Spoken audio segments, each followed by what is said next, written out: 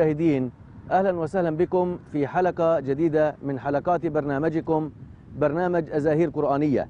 نحاول في هذا البرنامج أن نقطف زهرة قرآنية كلمة قرآنية نناقشها نتناولها بطريقة علمية بحتة.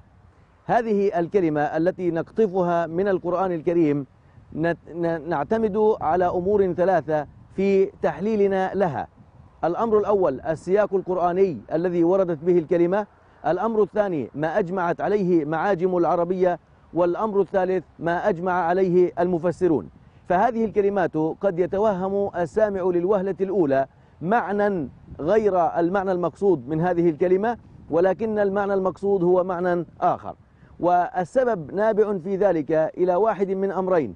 إما لطغيان العامية على الفصيحة في استعمالنا اليومي وإما أن للكلمة معان عدة في المعاجم فيذهب السامع إلى معنى وهو المعنى الأشهر في العادة ولكن المقصود هو معنى آخر.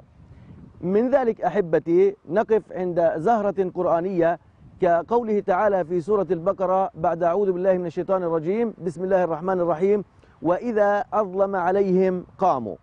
طبعا قد يتوهم السامع للوهلة الأولى أن قاموا بمعنى أنهم كانوا قعودا فوقفوا ولكن ليس هذا المعنى المقصود. المقصود به هو الثبات. انظروا أحبتي معي في قوله تعالى في السياق القرآني بداية.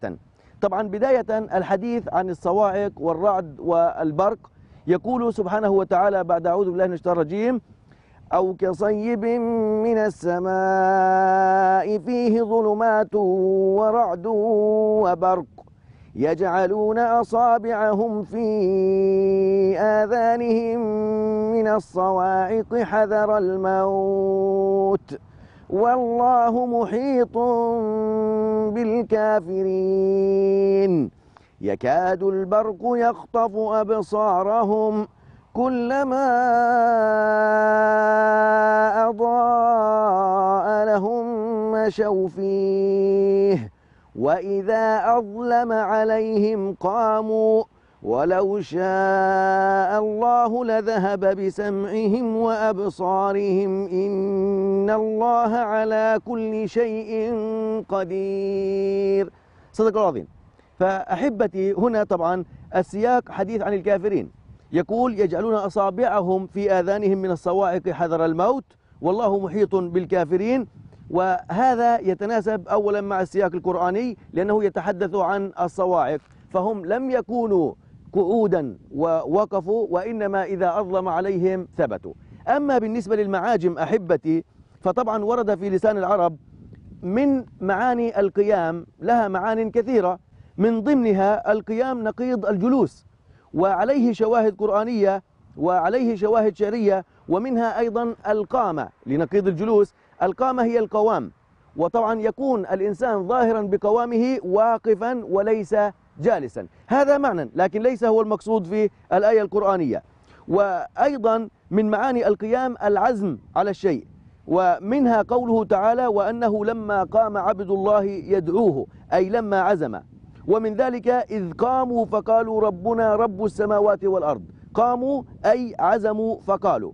وقد يجيء بمعنى المحافظة والإصلاح. انظروا كم معنى لها. منها ما زلت قائما على الشيء أي قائما أي بمعنى ملازما ومصلحا ومحافظا. ويجيء كما يقول اللسان بمعنى الوقوف والثبات للماشي. وعليه فسروا قوله تعالى الآية التي ذكرناها وإذا أظلم عليهم قاموا.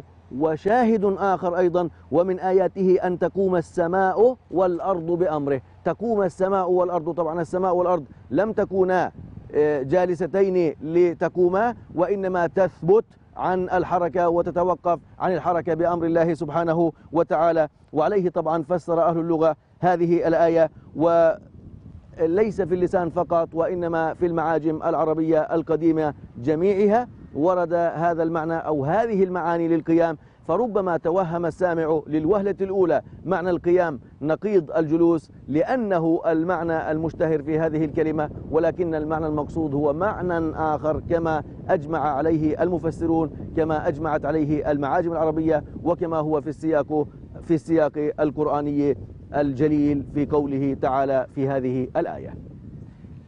أحبتي نودعكم على أمل اللقاء بكم إن شاء الله تعالى في حلقة جديدة من حلقات برنامجكم برنامج أزاهير قرآنية. نقطف زهرة جديدة نتناول زهرة جديدة نستمتع معا بهذه الأزاهير القرآنية. فأهلا وسهلا بكم وعلى أمل اللقاء بكم في حلقة أخرى. وإلى اللقاء.